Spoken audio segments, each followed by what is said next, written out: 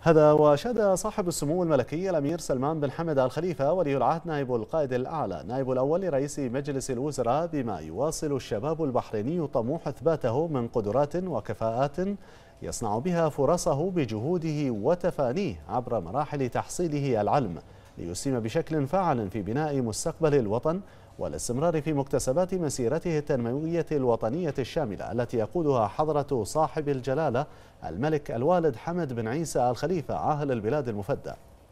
وهنا سموه الدفعة الثامنة عشر لبرنامج ولي العهد للمنح الدراسية العالمية لدى استقبال سموه في قصر الرفاع الطلبة الذين تم اختيارهم ضمن هذه الدفعة من البرنامج.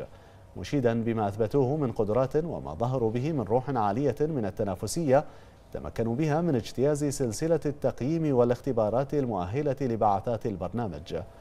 وأعرب سموه عن الفخر والاعتزاز بأبناء الوطن الذين يضيفون سنويا إلى رصيد برنامج سموه للمنح الدراسية العالمية ويعكسون الصورة المشرفة للبحرين وشبابها المنجز في المؤسسات الأكاديمية العالمية العريقة التي ينضمون إليها من خلال البرنامج.